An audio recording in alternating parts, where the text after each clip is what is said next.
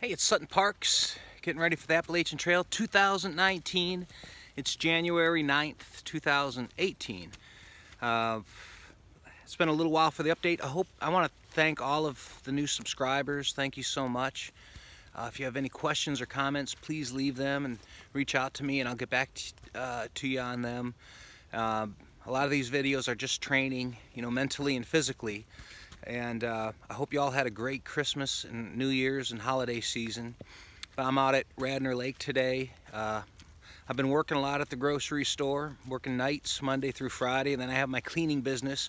So I do my cleaning on weekends. I've been able to pay off, you know, several thousand dollars on some back taxes I owe. And my weight now, my weight is down to 210. Last year at this time it was 255, so I'm headed in the right direction. Um, I'm real proud of that. Uh, so just that's one reason I sort of like the grocery job because it keeps me moving. I walk about five, six miles every night. And uh, so yeah, I don't want to quite let go of that. And it's, you know, I get frustrated sometimes. they don't have enough people. I am the overnight dry grocery team. There's me and then there's the team lead. there's, uh, I don't know, 11 aisles, 12 aisles.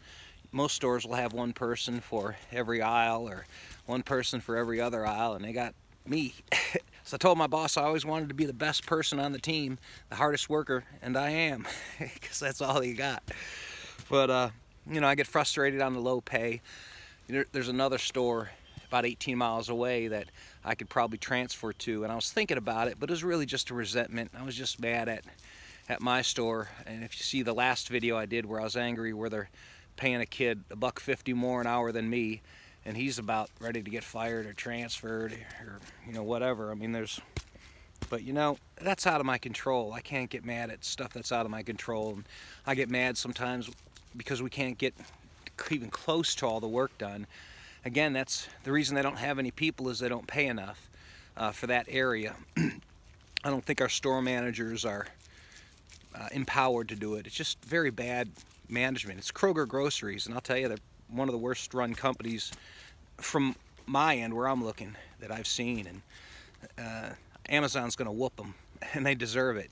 Because if you don't, you have empty shelves, you make less money, and then you can't pay your employees, and then you have more empty shelves. So it's just a cycle, and it's easy fix. And uh, you know, if they don't want to fix it or can't fix it, again, it, it shouldn't affect my attitude.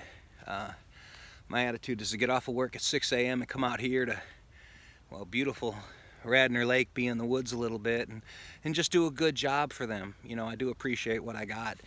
Um, Nutrition-wise, you know, I mean, that's how I lost the weight is, I forgot my selfie stick, so got to use my hands.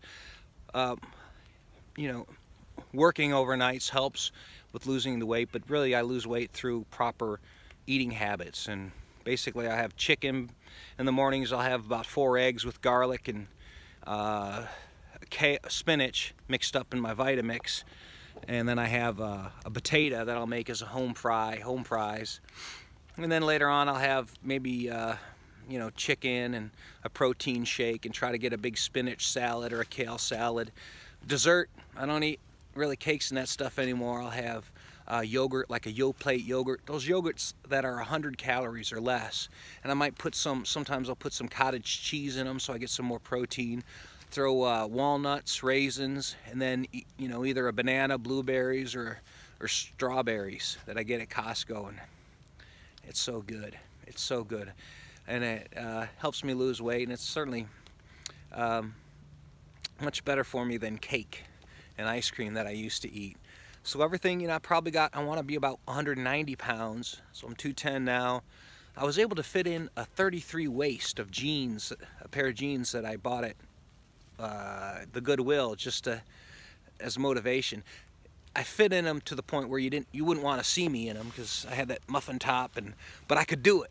so one step at a time. Anyway, I think that's it. Just gonna make a quick video and tell y'all hi and thank you again for subscribing. Please leave any questions or comments in the uh, in the in the thing in the place on YouTube, and I'm gonna be uh, doing a gear review finally real soon and uh, talk about some other things. So thanks again. Y'all have a great day. Bye.